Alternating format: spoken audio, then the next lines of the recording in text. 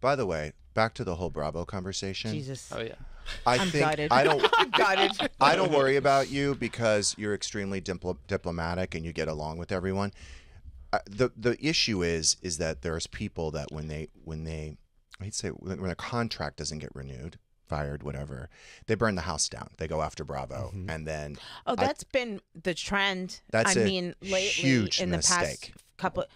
Yeah, it is. a huge. Now I, you know, I had words with them the first year or two, and then it kind of took me, it took me like two years to realize like, oh wow, like a little bit more gratitude. Like if it weren't for them and the platform they gave me, I wouldn't have had this and this and this. It just took me a minute because you're hurt at first. I always said, no matter how our expiration date happens, because everybody has an expiration date as a housewife. Yeah. It is not a forever thing.